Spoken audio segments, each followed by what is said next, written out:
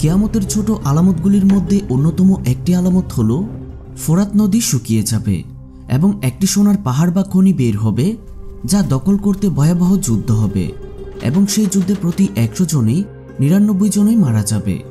বর্তমানে এই নদীটি প্রায় শুকিয়ে গিয়েছে।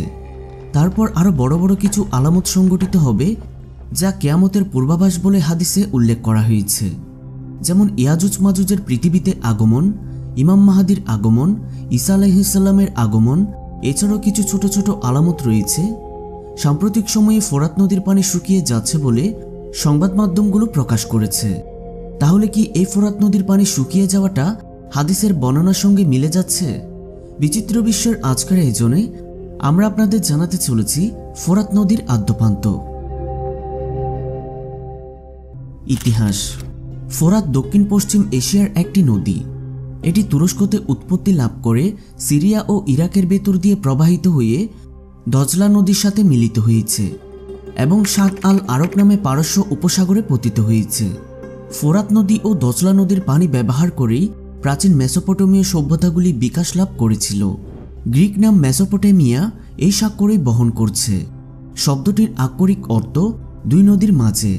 এখানে প্রাচীন সুমেরীয়, বেবিলনীয় এবং আশিরীয় সভ্যতাগুলি বিকাশ লাভ করেছিল।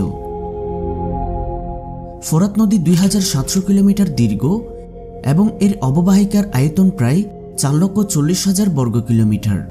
এর মোট অববাহিকার মাত্র তিরিশ শতাংশ তুরস্কতে অবস্থিত হলেও এর পানির নব্বই শতাংশ এর উৎস তুরস্কের উচ্চভূমি। তুরস্কের কোরাশীয় নদী মুরাত নদী এবং আরও অনেকগুলি নদী পূর্ব মধ্য তুরস্কে এলাজিগের কাছে মিলিত হয়ে ফোরাতের উদ্য অংশ গঠন করেছে। তারপর নদীটি আলাপ শহরের একশো বিশ কিলোমিটার উত্তর পূর্বে সিরিয়াতে প্রবেশ করেছে। পূর্ব সিরিয়ার সাথে দক্ষিণ পূর্ব তুরস্ক থেকে আগত খাবুর নদী নামের একটি প্রধান উপনদী মিলিত হয়েছে। ফোরাত নদীর গতিপথ মূলত দচলা নদীর সমান্তরাল।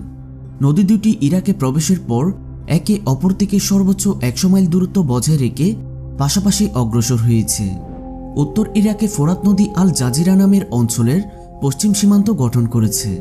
অন্যদিকে তাইগ্রিস নদী এর পূর্ব সীমান্ত গঠন করেছে।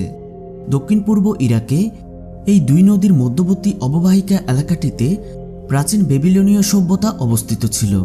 তাইগ্রিস থেকে চল্লিশ কিলোমিটার দূরত্বে এসে ফোরাত দুইটি শাখায় ভাগ হয়ে গিয়েছে। শাখা দুটি একশো আশি কিলোমিটার পরে আবারও একত্রিত হয়েছে। এরপর ফোরাত ও দজলা কন্যা শহরের কাছে মিলিত হয়ে সাত আল আরব নদী গঠন করেছে এবং পারস্য উপসাগরে পতিত হয়েছে। ফোরাত নদী আঠাশশো কোটি ঘনমিটার পানি প্রতি বছর বহন করে থাকে এপ্রিল এবং মে। এই দুই মাস পানি ধারণের পরিমাণ সর্বোচ্চই থাকে। ফোরাত নদীর উপরে যে শহরগুলি অবস্থিত, তার মধ্যে প্রধান হল সিরিয়ার রাখা ও দায়ের আজর এবং ইরাকের কারবালা, হিল্লা এবং নাজাফ। ফোরাত নদীটি অগভীর বলে ছোট নৌকা ছাড়া অন্য কিছু এখানে চালনা করা সম্ভব নয়। এটি পানি সরবরাহের জন্যই বেশি গুরুত্বপূর্ণ। নদীটি তুরস্ক, সিরিয়া ও ইরাকের মধ্যে রাজনৈতিক উত্তেজনার একটি বড় উৎস। তিনটি দেশই সেচ কাজ এবং পানি বিদ্যুতের জন্য এই নদীর পানির উপরেই নির্ভরশীল।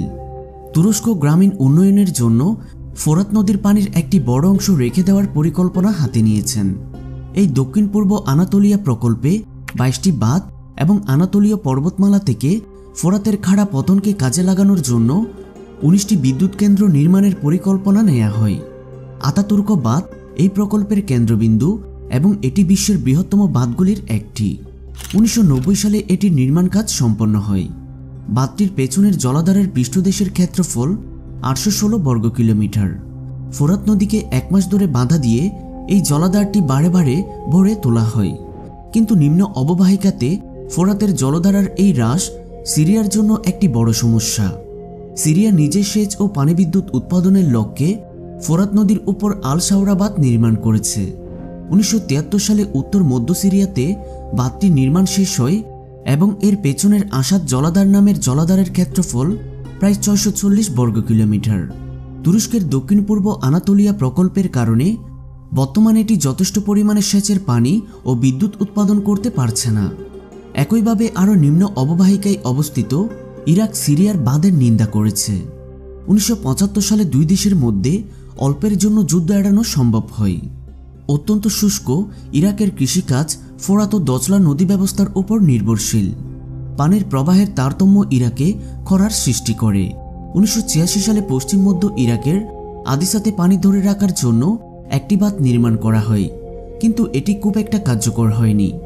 উনিশশো পঞ্চাশের দশক তাইগ্রিস নদীর বন্যা নিয়ন্ত্রণ প্রকল্পের ফলে তার তার নিম্নভূমির মধ্য দিয়ে তাইগ্রিসের কিছু পানি ইউফ্রেতিস অববাহিকাতে আনা সম্ভব হয়েছে। কিন্তু এটিও পানি সরবরাহ সমস্যার তেমন কোনো সমাধান করতে পারেনি। সিরিয়া এবং তুরস্ক থেকে পানির সাথে আসা রাসায়নিক বর্জ্যবিশিষ্ট পানির কারণে ইরাকের জন্য অনেক বড় একটি সমস্যা হয়ে দাঁড়িয়েছে। ফোরাত নদী থেকে স্বর্ণের খনি বের হবে। ফোরাত নদী হল দক্ষিণ ও পশ্চিম এশিয়ার একটি নদী। এই নদী তুরস্কে উৎপত্তি লাভ করেছে, সিরিয়া এবং ইরাকের মধ্য দিয়ে প্রবাহিত হয়েছে এবং দজলা নদীর সাথে মিলিত হয়েছে ও পারস্য উপসাগরে গিয়ে মিলিত হয়েছে। আঞ্চলিক রাজনীতির কারণে ফোরাত যেমন আলোচনার কেন্দ্রে, তেমনি ধর্মীয় কারণেও ফোরাতের নাম মুসলিম বিশ্বে ছড়িয়ে পড়েছে। ফোরাত নিয়ে প্রিয়নবী হজরত মোহাম্মদ সাল্লাহ আলহিসাল্লাম খুবই গুরুত্বপূর্ণ ভবিষ্যৎবাণী করেছেন। এক হাদিসের রসুল সাল্লাহ সাল্লাম বলেন, অচিরেই এমন একটা সময় আসবে, ফোরাত নদীতে স্বর্ণের খনি উন্মোচিত হবে, সুতরাং যে ব্যক্তি ওই সময় বেঁচে থাকবে, সে যেন স্বর্ণের খনি থেকে কোনো অংশ গ্রহণ না করে। বুকারি হাদিস সাত হাজার একশো উনিশ। মুসলিম শরীফের অন্য বর্ণনায় এসেছে, কেয়ামত সংগঠিত হবে না, যতক্ষণ না ফোরাত নদীতে একটি স্বর্ণের পাহাড় প্রকাশ পাবে। মানুষ তা নিয়ে যুদ্ধে জড়াবে এবং প্রত্যেক দলের শতকরা নিরানব্বই জনেই মারা পড়বে। তাদের প্রত্যেকের কামনা থাকবে, হাই, বেঁচে যাওয়া মানুষটি যদি আমিই হতাম? মুসলিম শরীফ, হাদিস সাত হাজার চারশো চুয়ান্ন। হাদিসের ব্যাখ্যায়, শাইকুল ইসলাম তাকি উসমানি বলেন, ফোরাত নদীতে স্বর্ণের পাহাড় উন্মোচিত হবে। এর দুটি অর্থ হতে পারে, এক, নদীর জায়গায় একটি পাহাড় উঠবে, যাহার ভেতরে স্বর্ণের খনি থাকবে, দুই, নদীতে স্বর্ণের খনি থাকবে। কিন্তু পাহাড়ের সাথে তুলনা করার উদ্দেশ্য হল স্বর্ণের পরিমাণ অনেক বেশি হবে। তাকমেলাতো ফাতহিল মুলহিম, খণ্ড বারো, পৃষ্ঠা দুইশো আঠাশ।